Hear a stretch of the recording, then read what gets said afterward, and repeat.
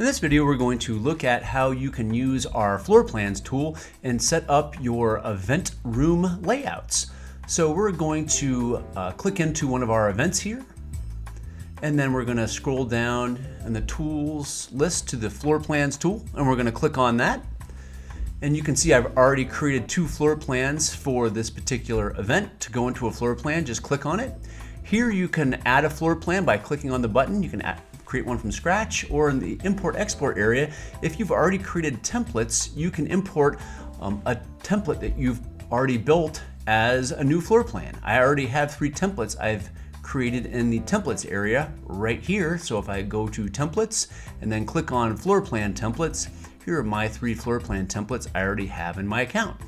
Um, if I click on one, um, it's basically gonna look identical to the floor plan tool and you can build a floor plan from scratch right here if you want or um, uh, by clicking on the add template button right there um, or you can, I'm gonna go back to my event and into the floor plans tool inside of that event or if I've built a floor plan here inside of the event, I can save it as a template.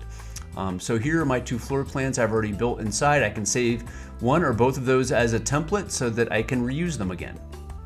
So what we're gonna do now is we're gonna add a floor plan from scratch. So here's where you type in the name of that floor plan. And then when it comes to the measurements, what you wanna do is you wanna put in where your room is at its widest and as at its longest. Um, so I'm gonna tell you why you do that here in a moment. So we're gonna save that. And once we save that, it pushes us into the floor plan dashboard.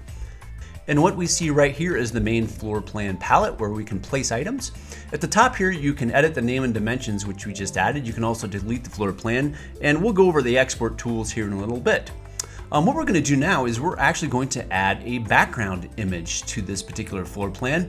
Um, if you have, say, a JPEG or a PNG file from uh, a venue that uh, uh, shows the outline of a room, you can add that particular image file as a background, which I've done right here. Um, and then you can scale it using this bar right here. So I'm gonna pull that, scale it up so that it fits and scales right to the width and length of the floor plan. That's why I made my floor plan the maximum width and length of my room so that this particular image fits in there. So now I can drag and drop items on top of this. So I'm gonna click on the rectangle uh, table right there and um, what you would do with all the elements basically is you can add a name. Here for the table, I'm gonna add a chair type and a color to this item. You can, for the tables, you can add lengths and widths. Um, you can also add a service area or a buffer, buffer area around the table. And then for tables, you, you can also designate how many chairs you want at the top um, and on the sides. So I'm just gonna do four on the long sides and zero on the short for my rectangular table right there. Um, you can also add a variety of other tables over here in the left hand side, round, square, oval. You can add chair rows, trade show booths, furniture. We've got floors and stages and entertainment elements. Um, you can add architectural elements like walls, doors, stairs, and barriers. And again, you can adjust the sizes and names for all these things. You can add notes um, or uh, rulers if you wish to the, the floor plan so you can measure things out um, specifically. You can add food and beverage items, outdoor items like tents, um, audiovisual items like state like uh, uh, screens, safety and fire, and finally transportation items. We're going to add an, a solid floor to our floor plan right here. And again, you can add the name right here. You can customize the name of pretty much any elements. Um, so if you don't see the element in our list here, you can just use like say the floor element as um, uh, you can you can basically customize the name to make it be whatever you want. If you need to move the item, just click on it and drag it to where you want it. Um, we are going to add one more item. We're just going to add a podium.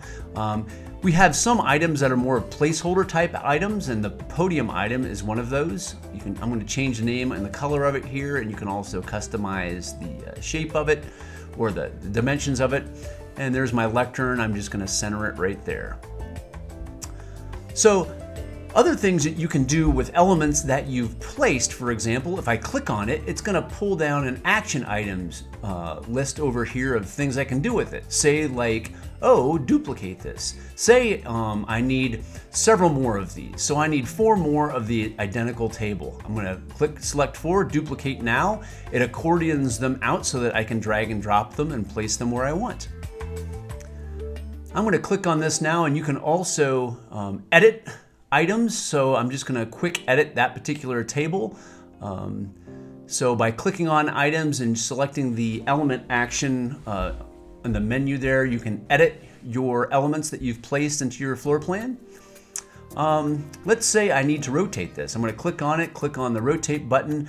Again, I can use this toolbar or I can use the arrows left right to adjust it. Um, I'm gonna make this um, 45 degrees. So there we go. Um, when you're done, just click in the empty space. Um, you can also do uh, several other things, like I'm gonna click on one of my elements here. uh, you can delete it. So I'm just gonna click on the item and click on delete, and that removes it from my floor plan. And you can also move multiple items. So I'm gonna click on these three tables right here, click and hold on one and drag it, drag it, and it will move all three elements at once. Um, you can also place elements on top of each other or underneath each other. So um, I can put this table on top of my exhibit floor. And if I click on the element, um, I, it also in the actions menu, I can bring that element to the front or send it to the back. So if I send it to the back, it's going to appear below the floor, that floor that I created. And I can, if I drag it under it, it disappears. So let's pull this, put this floor and send that floor to back, which will pull my table on top of it again. So that's how you can layer elements inside of your floor plan. You can also drag and drop attendees onto seats in your floor plan. And you can do this whether you're managing attendees by RSVP or by selling tickets and registrations. Um, so you would click on the attendees tab. Um, if you are using an RSVP management, it's going to ask you for which RSVP event you want to use. Um, you would just select one there. And then um, what will show up is your list of attendees. And to put an attendee on a seat, just click, drag, and drop. Um, click, drag, and drop. Um, and you can see once you've added an attendee, and I'm going to click on attendee view so I can view their names and meal choices. Once you've added an attendee, over here on the left-hand side, it will show if it's added, it will show their, the table they've been added to, and you can also remove the person from the seat if you wish right there. So now let's take a look at a built floor plan. So here is my floor plan completely built out with tables placed, um, with attendees placed on seats in, in many cases. Um, and you can drag and drop. If you want to change an attendee on a seat, just click, drag, and drop them onto another chair. Easy as that. Um, you, we're going to go to the top here and go through some of the view options. So right now we're in attendee view. Design view just shows you uh, the elements, the basic elements. The service view shows the service area or buffer space around your tables and uh, chair rows. And again, the attendee view is going to show your attendees. And if you have collecting via RSVPs, it's going to show meal choices too.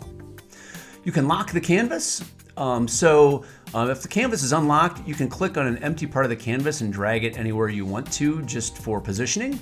But uh, if you do not want the canvas to move, you just click on lock canvas and you can't move it anywhere. You can also lock the elements down. Right now they're not locked, so if I click on an element, I can move it. But now if I click on an element, it's not gonna go anywhere. So that's how you can lock down your floor plan. Um, right now I have the grid on. If you turn it off, that's what it looks like. Um, you can also show the chair types and table dimensions for each of your tables. Um, I'm gonna unlock everything. Right here are the zoom in and zoom out options. So I can do that to zoom out, zoom in. Um, I can return to uh, the main screen and I can also move the canvas up and down to the left and the right that way. Finally, I'm gonna go back up to the top here and show you the export options. Um, you can generate name badges from your floor plan. So this is going to download a Microsoft Word file based on the Avery template that you choose and with the output options. You can also export the attendee list, which is going to include the uh, table assignments for each attendee. You can download an equipment list, which includes all the pieces that you drag and drop onto your floor plan. And you can download a PDF of your floor plan. And this is going to be a PDF of the current view. So whatever you have marked in current view, that is what's going to be in your PDF. And this is what my PDF looks like that I just downloaded. And you can see it looks exactly what my current view looks like. So that's how you can use the floor plans tool, but if you have any additional questions, please do let us know.